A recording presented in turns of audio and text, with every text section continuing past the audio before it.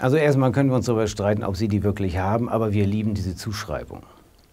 Und es sind ja genau die Klischees, die wir mit Männern und Frauen als Rollenverhalten in Verbindung bringen. Die Männer sind immer großspurig und wollen mächtig sein und alles bestimmen, Stichwort Patriarchat.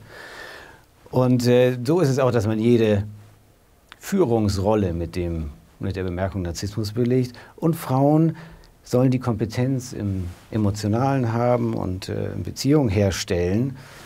Und wenn dann Emotionen eine Rolle spielen, wird das immer gerne mh, hm, herausfordernd als Borderline-Persönlichkeitsstörung betitelt. Das trifft natürlich fast nie zu. Nur weil ich mich intensiv auseinandersetze, habe ich zum Beispiel noch keine Borderline-Persönlichkeitsstörung. Ja? Wenn ich wirklich unter einer emotional instabilen Persönlichkeit leide, habe ich ständig mit Trennungsverlust und Verlassensängsten zu tun, die es mir kaum möglich machen, irgendwie selbstständig meinen Alltag zu gestalten. Wenn ich als narzisstischer Mann immer mit dem Thema Größe beschäftigt bin, dann, ich, dann bin ich kaum in der Lage, Kontakt zu anderen Menschen aufzubauen, ohne mir immer die Frage zu stellen, wer ist größer und wer ist stärker. Ähm, das heißt also natürlich sind diese Erkrankungen nicht so weit verbreitet, wie, ähm, wie es vielleicht in der Öffentlichkeit transportiert wird, weil alle diese Themen uns in irgendeiner Form beschäftigen und diese Emotionen, also das heißt jede Psychische Problematik beinhaltet Dinge, die wir alle wiedererkennen. Nur das Ausmaß ist immer die entscheidende Frage. Es gab lange den Streit, wenn es um die Psyche ging, hm, Streit zwischen den Lagern, es ist eigentlich alles vererbt oder es wird alles äh, von den Eltern verursacht in der Erziehung, ähm, was die psychische Entwicklung angeht. Das Problem an diesem Thema ist, dass wir eigentlich nur begrenzt, also dass wir schon Schwierigkeiten haben zu beschreiben, was die Psyche eigentlich ist, da wir keine objektiven Messwerte haben. Das macht es auch schwer zu beschreiben, wann irgendwas nicht stimmt. Das heißt, das Hauptkriterium dafür ist eher, ob ich irgendwie leide oder nicht. Die Kräfte, die, also wenn wir uns vielleicht einigen, dass die Psyche ein Instrument ist, das dazu da ist, zwischen meinen Notwendigkeiten und Bedürfnissen und den Umgebungsbedingungen zu vermitteln, also ein Anpassungsorgan, dann gibt es verschiedene Eigenschaften, bei denen ein Teil scheinbar sozusagen mit der Biologie mitgegeben wird.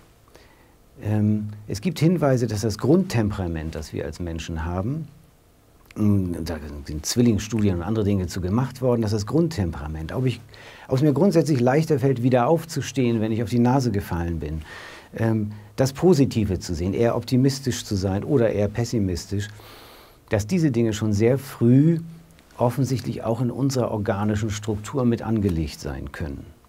Der andere Teil, das, was wir Prägung nennen oder was wir Menschen eher Erziehung nennen, ähm, das ist, wenn der Mensch mit seinem noch unfertigen Gehirn und seinem unfertigen Körper auf die Welt kommt und von seinen Erfahrungen, die er macht, von der Resonanz, die er kriegt von anderen, ähm, geprägt wird und Verhaltensmuster sich entwickeln, die immer wieder abgerufen werden und die dann das Leben wesentlich mitbestimmen. Und aus diesen beiden Dingen entwickelt sich dann das, was man heute Persönlichkeit nennt.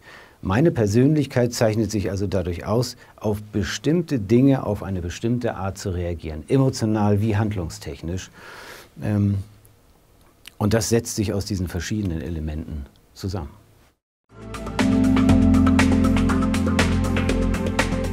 Also ich würde immer sagen, wenn man mich fragt, hoffentlich nicht. Hoffentlich nicht deshalb. Es gab einen schönen Versuch, ich glaube es waren die 60er, von einem Team um Rosenthal. Die sind an eine amerikanische Schule gegangen und haben, hatten einen Test entwickelt, der die Zukunft der Schüler vorhersagen konnte. Die haben alle Schüler zwei Wochen lang untersucht und haben dann eine Liste gehabt von Schülern, die einen erfolgreichen Abschluss machen, denen die scheitern. Die Schüler durften das natürlich nicht erfahren, den Lehrer wurde das heimlich mitgeteilt. Kurzum, genauso ist es gekommen. Dann wurden die Forscher gefragt, Mensch, äh, ist ja Wahnsinn, was habt ihr denn da untersucht? Das war gar nichts, wir haben nur so getan. Eure Überzeugung als Lehrer, wer erfolgreich sein wird und wer nicht, der, äh, die hat eben, ist durchgeschlagen. Wenn ich also die Diag also ich habe eine Verantwortung als Fachmann oder Fachfrau. Wenn ich eine Diagnose stelle, dann hat die Auswirkungen. Und eine depressive Persönlichkeit wünsche ich auch als Diagnosekeim. Offiziell im ICD-10-Katalog gibt es diese Persönlichkeitsstörung tatsächlich.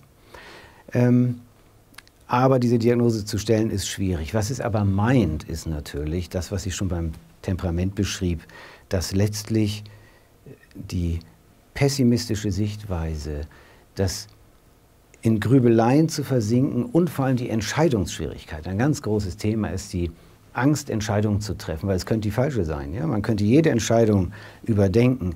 Ich könnte mir zum Beispiel überlegen, den Satz, den ich jetzt gerade sagen will, sollte ich den wirklich sagen? Er könnte falsch ankommen, am Ende spreche ich nicht mehr. Das äh, würde man äh, über eine depressiv gefärbte Persönlichkeit sagen können. Ähm, aber die Auseinandersetzung mit diesen Verhaltensmustern birgt auch hier die Chance, Dinge zu verändern und anders zu machen. Deshalb würde ich sagen, hoffentlich gibt es keine depressive Persönlichkeit.